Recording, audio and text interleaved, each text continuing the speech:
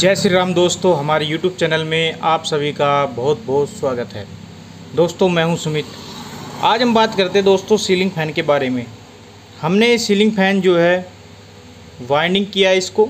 और वाइंडिंग करने के बाद क्या होता है जब आ, हम इसको चेकिंग करते हैं इसकी टेस्टिंग हम करते हैं तो क्या निकल के आता है कि मोटर के अंदर मोटर के अंदर करंट आ रही है ओके तो ये प्रॉब्लम हमारे साथ अक्सर होती है।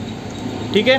तो इसे हम कैसे निवारण कर सकते किसी भी पंखे के अंदर करंट आ रहा है चाहे वो नया पंखा हो चाहे वो पुराना पंखा हो आ, ये वाइंडिंग के बाद ज़्यादातर ये प्रॉब्लम देखने को मिलती है।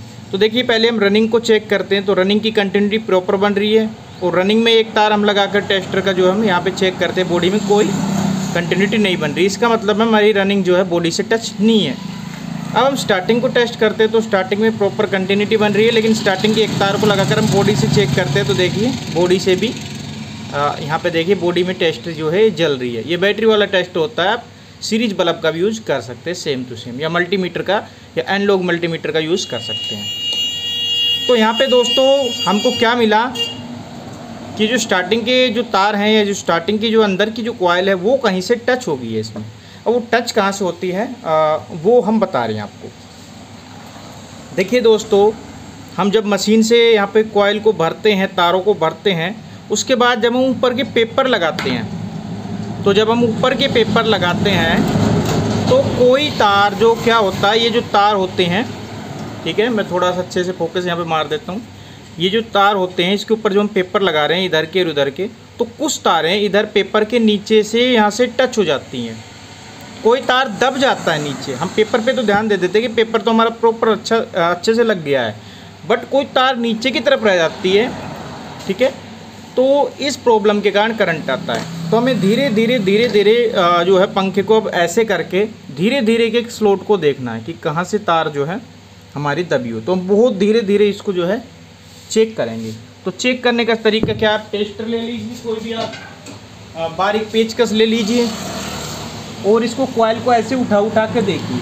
हमको यहाँ पे नज़र करनी है कि कहाँ से ये गड़बड़ आ रही है, ठीक है? तो जब आप यहाँ से चेक करेंगे तो आपको जो है कुछ जो तार, जो भी तार इसमें गड़बड़ कर रहा होगा टच हो रहा होगा, वो आपको दिखने लग जाएगा। तो अभी तक तो हमें कुछ इसमें दिखा नहीं है। ठीक है? और ये जो पेपर हैं, आपके, इनको भी भली बात के अच्छे से दबा लें। तो हम इसको, इसकी रीचेकिंग कर रहे हैं। जब हम पेपर डालते हैं, कई बार हम जल्दबाजी में पेपर डाल देते हैं। तो इसमें थोड़ा सा ये हो जाता है गड़बड़।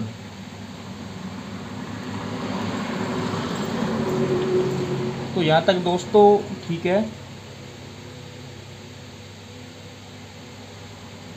बट दोस्तों, यहाँ पे हमको प्रॉब्लम दिख गई है।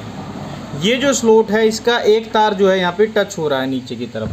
तो जो हम क्या करेंगे वो जो तार जो नीचे की तरफ़ दबा हुआ है, हम उसको ऊपर की तरफ़ उठाएँगे। और उसको बहुत ही प्यार से ऊपर की तरफ़ उठाना है। तो आपको मैं दिखा दूँ, अच्छे से दिखा दूँ, देख सकते हैं। ऑटो फोकस ये देख सकते हैं यहाँ पे। ये जो तार है, ये यहाँ पे टच हो रहा है, ये जो तार है, ये पेपर के नीचे खिसक गई थी, दब गई थी। इसके कारण बॉडी में जो है करंट आने लगा। तो इसको हम क्या करेंगे? इस तार को जो है, पहले पेपर को हम निकाल सकते हैं। और पेपर को निकालने के बाद या पेपर अगर आप ऊपर उठा ले तो भी काम चल जाएगा। इस तार को सावधानी पूर्वक आपको जो है, ये जो तार निकली हुई है इधर, इसको ऊपर की तरफ़ कर देना सावधानी पूर्वक तो इसको तार को जब आप ऊपर उठा रहे हैं तो आपको ध्यान रखनी है दोस्तों कि तार टूटे नहीं और आपको बहुत ही सावधानी के साथ इसको ऊपर की तरफ़ कर देना। तो हम इसको ऊपर की तरफ़ कर रहे हैं। तो तार जो हमने दोस्तों देख सकते हैं, यहाँ से निकाल के ऊपर की तरफ़ कर दिया है, बहुत ही आराम से। और ये जो पेपर है, इसको वापस से अब हम क्या कर देते हैं? दबा देते हैं। तो ये प्रॉब्लम दोस्तों अक्सर देखी जाती है सीलिंग फ़ैन के साथ, क्योंकि हम जल्दबाजी में या कई बार ऐसा ही है कि अंधेरे का टाइम होता है और हम पेपर लगा देते हैं, शाम के टाइम या या दुकान के अंदर शॉप के अंदर अंधेरा होता है तो वहाँ पे यही प्रॉब्लम देखने को मिलती है। तो ये करने के बाद हम हम टेस्टिंग करते दोबारा से। तो स्टार्टिंग में कंटिन्यूटी प्रॉपर बन रही है, देख सकते हैं। अब एक तार हम बॉडी से टच करेंगे। कोई करंट नहीं आ रही, देख सकते हैं। कोई करंट इसमें नहीं आ रही। ठीक है? तो इस तरह से आप इस समस्या का निवारण कर सकते हैं। तो कैसा लगा हमारा वीडियो? कमेंट करके ज़रूर बताएँ। और ये वीडियो पसंद आया प्लीज़ लाइक करें, दोस्तों शेयर करें चैनल को सब्सक्राइब करें।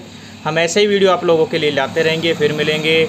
जय हिंद, जय भारत, जय श्री राम, वंदे मातरम।